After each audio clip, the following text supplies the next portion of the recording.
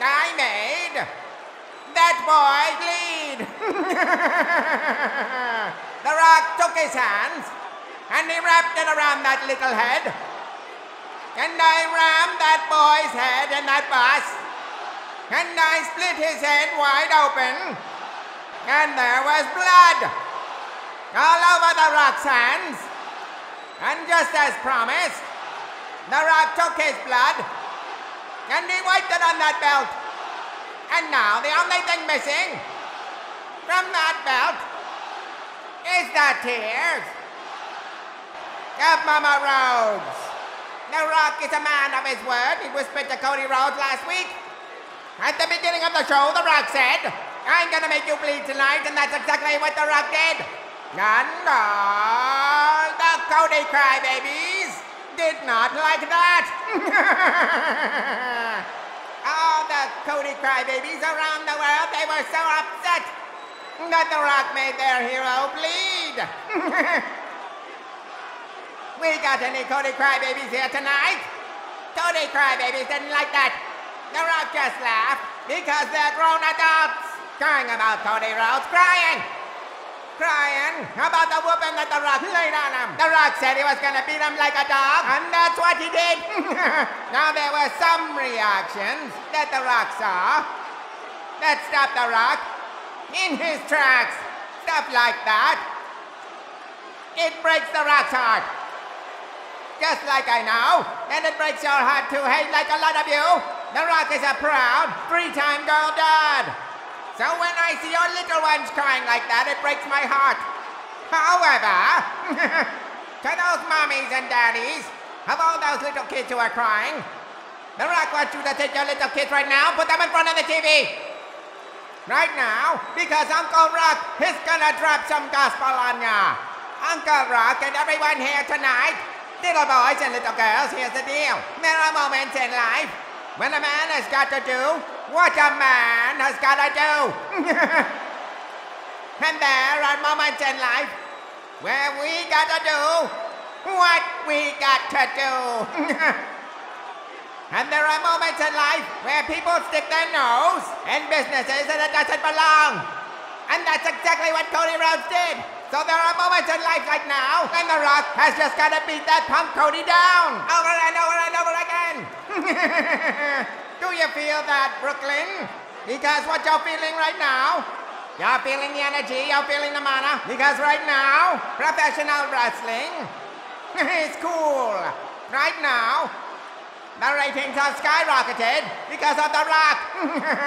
Finally, blood was shed. Finally, we are five days out from WrestleMania. And finally, the final boss has come back to Brooklyn. but Brooklyn, The Rock didn't come alone.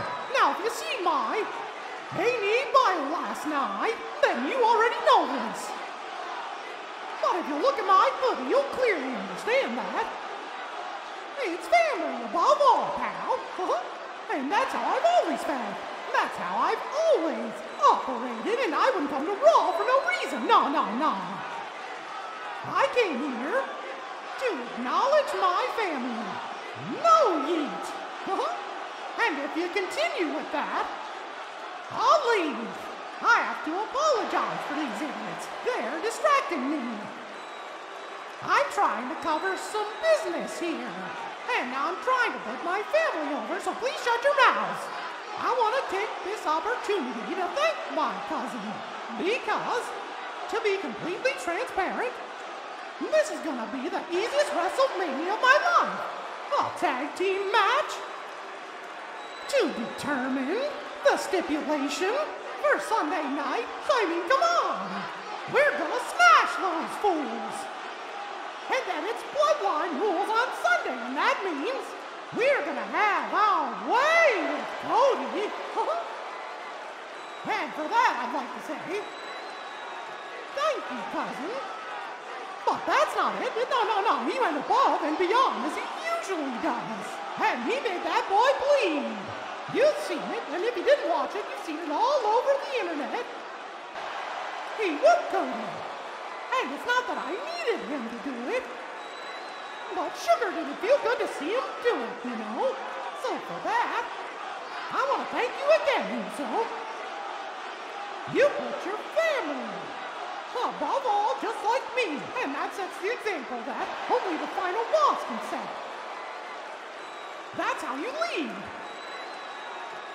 And you see, Cody, he's not fit for these shoes. He's not fit for leadership. I told you guys, he's a politician. He's lucky to be here. Because when we started making this thing cool again back in 2020, he was off somewhere doing a whole lot of nothing. And then he saw what the tribal chief was doing. And he's like, my gosh, I need to be a part of that. We allowed you in these open doors, but enough is enough. We can't have you trying to take me off the top of the mountain. My, my children can't have that. The Usos children can't have that. This is our mountain. We run this business. now, if you two idiots think I'm walking into that ambush after what you pulled on Cody Rhodes last week, and you're even stupider than I thought you were, scallywags. You want to pull that crap on me, then you got to come on up here and fight the whole city of Brooklyn, mates. Now, last week, you crossed the line, mates. So the way I feel, the time for talk is over. I'm ready for a fight. And I'm not just talking about five days of WrestleMania. No, I want to fight tonight. So here's what I'm thinking WrestleMania four days away. Biggest WrestleMania of all time. Tonight here in Brooklyn. Biggest Monday Night Raw of all time. I think.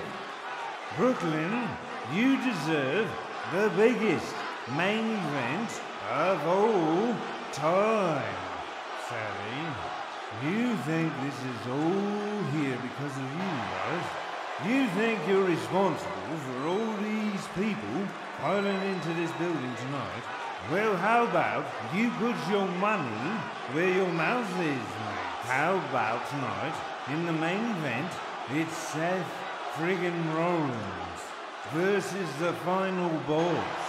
I don't think old DJ's got the balls, but his cousin, the tribal chief, he might have grown head in the last few years, I don't know. So if The Rock doesn't want to fight me tonight, I'd be more than happy to take on Roman Reigns in the main event tonight. Who's got the balls? You ain't gonna fight The Rock, boy. You ain't gonna fight Roman Reigns, boy. You're not tough. Crazy son of a scallywag. The Rock knows it. You're not fighting us. However, we always got a plan.